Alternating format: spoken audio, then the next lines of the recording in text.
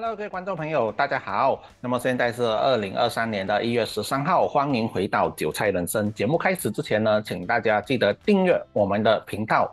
那么这个很久没有讲这个鸡蛋的这个问题了哈，现这一期我们专门来 update 一下这个鸡蛋的问题呢。大家不要小看这个鸡蛋啊，鸡蛋呢会导致马来西亚亡国啊，跟你讲了，就是亡国，跟你讲了啊。如果大家如果不是亡国呢？就是导致团结政府倒台，整个政府 collapse，整个政府倒台就是这么严重啊！你一粒鸡蛋都解决不好呢，你干什么政府是不是啊？因为鸡蛋涉及那个粮食安全嘛，它是一个很危险的东西嘛啊！全国人呢，在粮食安全出问题，你讲亡国不亡国啊？你政府呢，鸡蛋处理不好呢，你讲这个政府还有用吗？对不对啊？那么鸡蛋的问题呢，在马来西亚现在呢是越演越烈啊，是越来越恶化啊啊！它没有变好，知道吗？那现在吃什么蛋知道吗？吃印度蛋知道吗？吃 export 进口蛋啊啊！啊，发生什么事情知道吗？如今的情况呢，是本地的这个蛋农呢，已经成为超高风险行业。那么蛋农呢，呃，就就是养鸡来生蛋的那些那些农民呢，啊，已经变成黄昏行业、夕阳行业，一个彻底被摧毁的行业。那是很简单的，因为。马来西亚政府呢，如果你想摧毁一个行业，很简单的，你只要让这个行业呢，啊，五年不起价，十年不涨价，十五年不涨价，这个行业呢必然被你摧毁，那毁到干干净净的，啊，很简单的嘛，好像你，好像你现在呢，现在你一个月呢，你做三万块，五年之后还是做三万。十年之后一个月还是三万，十五年之后还是三万，二十年之后还是三万，二十年之后你一定破产，肯定破产，因为什么？那个通货膨胀吗？啊，我们的经济呢是不断的向上升的吗？啊，你现在三万块呢？哎呀，绰绰有余啊，过得很舒服啊，赚很多钱呐。二十年后你才赚三万呐，破产跟你讲呐啊，呃，你一个月的的开销远远超过三万了，对不对？啊，所以政府要摧毁一个行业呢，就是让它永远永远不涨价吗？其实马来西亚的鸡蛋问题呢，很容易解决的。那么这这个呢，就涉及呢政府的那个体制跟体系。政府只要把这个上面那个帽子拿掉呢，就解决了咯。但是拿掉上面这个帽子呢，就会导致马来西亚亡国。跟你讲啊，不是开玩笑啊啊！因为这个动摇呢，马来西亚的那个国之根本啊。动了马来西亚的体系啊，所以呢，这个鸡蛋的问题呢，我们就 challenge 就挑战团结政府呢，敢不敢去动马来西亚的这个体系？他敢动的话呢，他可能会有一线生机；他动了之后呢，可能会有一线生机。不动的话呢，鸡蛋问题解决不了呢，这个团结政府呢，不知道能够生存多久啊！来，我们来看一点点的新闻呢。啊啊，local 鸡蛋取代本地鸡蛋，蛋嘛，蛋农呢将面临破产，就不能做了咯。啊，因为马来西亚的鸡蛋呢的顶价上面那个帽子呢，一粒四十一仙吗？啊，四十一仙呢，现在是亏本卖，啊，绝对亏本，不是亏很少，是亏很多，亏本生意没人做，亏本生意做不下去啊。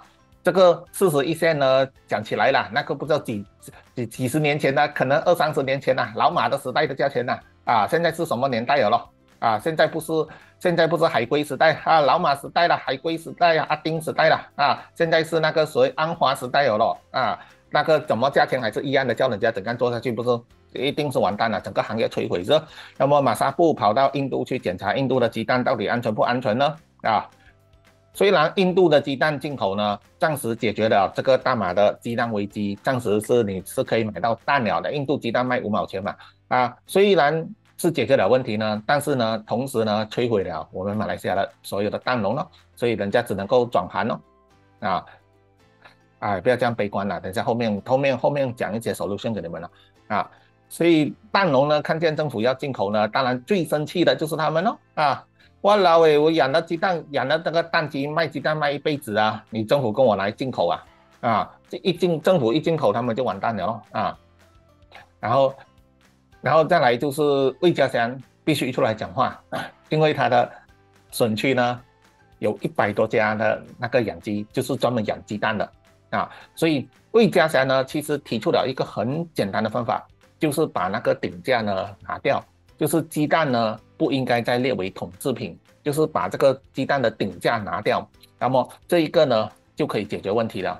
那这个也就是问题的关键，就是鸡蛋的价格呢是被政府控制的，它不可以超过那个帽子，它上面那个顶价那个天花板，它它一超过政府就抓啊，所以整个行业怎样做下去啊？它现在是靠补贴吗？你一直补下去呢也不是办法哦，啊那个一一直补下去也没有用哦，说那现在人家要的呢就是自由浮动价格回复那个 market 的价格回复那个那个正常经经济的价格呢，这些蛋农呢才能够生存下去哦。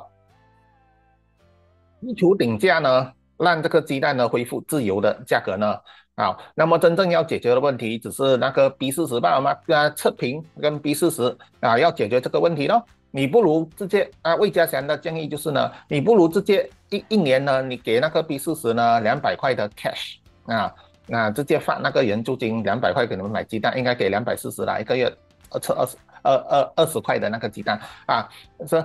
诶，应该应应该你每年给一笔援助金呢，给那个 B 四十去买鸡蛋，这样就解决那个问题了嘛？是不是啊？不要因为呢，你为了那个 B 四十的损票呢，你要拖累全国啊啊，然后导致呢，所所有的 M 四零买不到鸡蛋，他 T 二十也买不到鸡蛋了，然后也导致呢，啊，我们的这些鸡蛋农呢，全部破产，整个行业呢被你摧毁，所以要，所以你还是。还是派钱给那个 B 四零呢，给他们去买鸡蛋呢，去解决整体整整条产业链的这个问题才是实际啊。那么上有政策，下有对策，那么这个蛋农怎么办呢？啊，那么这里就要讲了，那种被列为统制品的那个鸡蛋呢，我们叫做政府蛋嘛，那政府管制的蛋嘛，啊，现在印度进口的还是属于政府管制蛋，它强制卖五毛钱。OK，那么统制品的蛋呢？它强制卖四十一线，它有时候会高一点点，有时候低一点点。那那个是政府蛋啊。那么这个蛋农，蛋农现在要生存了怎么办呢？啊，除非你不卖政府蛋哦。啊，对啊，我们去 supermarket，我们看见吗？那个鸡蛋有分为统制品蛋，就是政府蛋，那个价钱是受控制的。另外一种呢是不受控制的，那个是自由蛋。OK，啊，那种叫自由蛋呢，自由蛋就是营养蛋啊。那么在这里呢，给各位观众的那个饮食建议呢，就是啊，实际上呢，啊，人家如果你单单对单来比呢，你会发觉那种呢营养蛋呢，哇，好像贵很多哦、啊。那个三十粒呢，那三十粒这个同制品蛋呢，它它大概是十三块十到十五块这样子啦。印度蛋是十五块买一粒五毛钱，是三三十粒十五块咯。那么你你买那种营养蛋呢，营养蛋呢最多二十二、二十三罢了，多它一个七块钱。啊，三十粒蛋最多多它一个七八块钱啊，最多他讲到很有营养的啊，治疗贵重 cancer 的那种啊，那种呢，大概就是它的一半的价格，就是你吃一碗碗汤米的价格，你吃一碗碗汤米的价格呢，你会吃到更有营养的蛋哦啊。那么现在这种政府蛋呢，如果那些蛋农呢，他的心呢足够黑的话了，他足够黑呢，他就去买那种很便宜的料给鸡吃咯。啊，吃一下呢，全国生 cancer 咯，那个整个医院呢，啊，整个政府医院的人通通生 cancer，那中 cancer 的人等下比中 COVID 的人多。啊，他如果他足够黑心的话，那这种事情呢，我觉得我们马来西亚的蛋农应该做不下去了。啊，他料可以买很便宜的那种很很毒的料，全部给鸡翅，啊，鸡翅加蛋分出来，那全部的的人民中 cancer，啊，这是不是？啊，但是人家不可能做这样的事情嘛，是不是？所以现在呢？唯一的办法呢，你就是你开放那个鸡蛋的价格啊，人家去养。啊，你看现在呢，不受政府控制的蛋呢，啊，他们养的很好的哦，给很好的料吃的哦。有些真的是那个真的是给那个鱼啊个什么，有些给很好的料的。它的那个鸡蛋呢，它它有一种鸡蛋叫死雷念鸡蛋，吃了不会生 cancer 的。啊啊，那个里面有死雷念的啊，那它可以 challenge 你，你可以拿去 lab。验那个水雷念不够，你就来告我。那还有还有各种各样的各种各样的这种营养鸡蛋，而且现在营养鸡蛋呢，实际上它只是比政府蛋呢？贵一点点的价格，不是很高啊。一般的人呢？都负担得起啊，一般的人都负担得起。那么要知道鸡蛋是吃进我们身体的东西啊啊！你说自己吃便宜蛋就算了，那你的孩子、你的老婆、你的父母嘞啊，尤其你的小孩子，小孩子你从小吃便宜蛋咩？你小小孩子你要给他吃那个有营养的蛋嘛。